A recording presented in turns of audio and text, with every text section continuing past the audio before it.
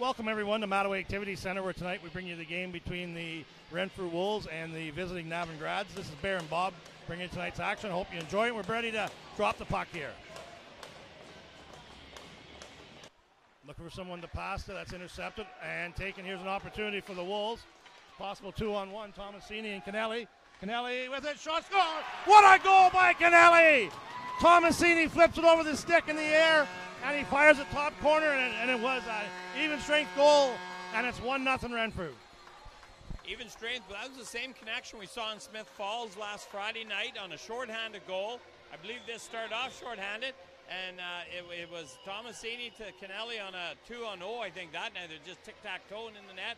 Nice shot there by Kennelly to finish this off, though. 1 nothing Renfrew. Tomasini out here to kill this.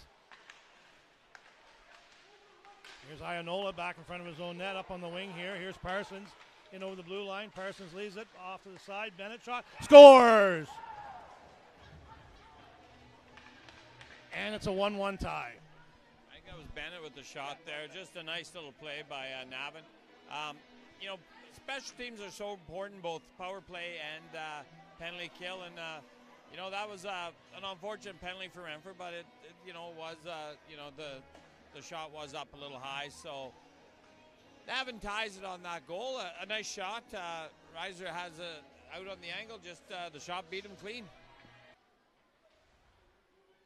Again, we have a scrum along the end boards here. Outshot. Oh, and a big save. Austin. Is it? It is in. I thought he had it. Slack with the goal. Uh, I believe it was Canelli fed him, and the referee's pointing it's in, and it's 2 1 Renfrew. Yeah, I think Navan's going to complain here. I think the whistle might have went just before the puck went in, but it was definitely going in when when the whistle went. I, I yelled at you, it's in. Um, it did get through. Not sure what they're going to do here. I, I guess they're going to go to video review. Is that us, Bear? Yeah, they're going upstairs, and let's take a look at it, Bob. Oh, it's in. No ifs, ands, it's about it. It's in. So we have a 2 1 goal. But no, it looked like he made the save, and then I guess the puck trickled through. On the boards here, Bob. Not going on a whole lot happening there right now, Robert. Here we go. Tomasini comes out of the, patch with the puck. Here it is. Three on one. Meta with him. Meta scores!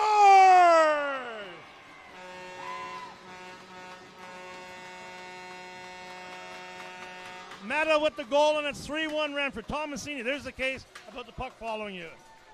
Yeah, because the battle was actually won by Navan on the board, but went right to his stick. They come out sort of a three on one. I'm not even sure that was a, a shot on goal or just more of a redirection.